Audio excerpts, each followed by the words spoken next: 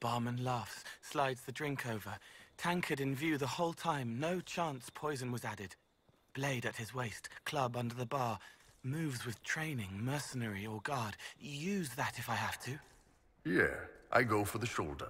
A shot he trained to take on the armor. But since he's a barman now, and not a merc, he bleeds, flinches, and I trap the arm and break his neck. Why the Iron Bull? I didn't do it, kid. It was just idle thought in case it came up. Do you think about how to kill everyone you meet? Do you not?